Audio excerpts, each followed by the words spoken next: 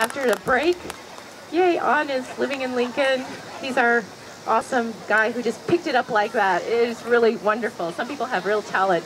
And we have Deb. Deb, yay, she lived in Japan also, teaching English. And she brought us some songs, fun. And we have Dan. Dan's living in Omaha now.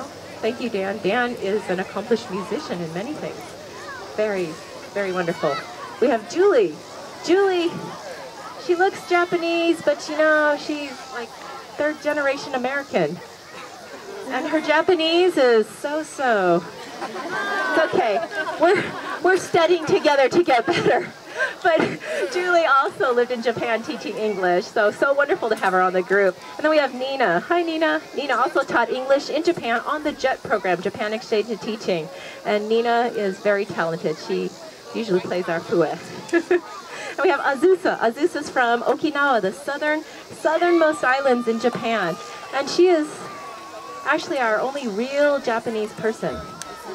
We're all kind of fake. Our hearts are Japanese, really. Oh, and we have Lean. Lean here is, well, Vietnamese, same as On. They look Asian. and I can say all of that because, you know, I am half Japanese and, um, you know, I grew up in a small town, so I'm used to that kind of weird thing about being Asian. So, anything? No, no more questions? We'll just play our next song and then move on. Thank you.